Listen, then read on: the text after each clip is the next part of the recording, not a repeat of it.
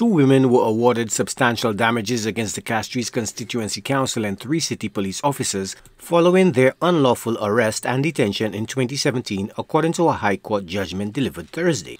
Justice Alvin Pariagsingh ordered damages totaling over $133,000 for Joanna Louis, who suffered a miscarriage following her arrest, and more than $51,000 for Rosella Paisy, the awards include compensation for unlawful arrest, detention, assault, and property damage. Court documents reveal Louis was handcuffed and forcibly placed in a police vehicle without reasonable cause.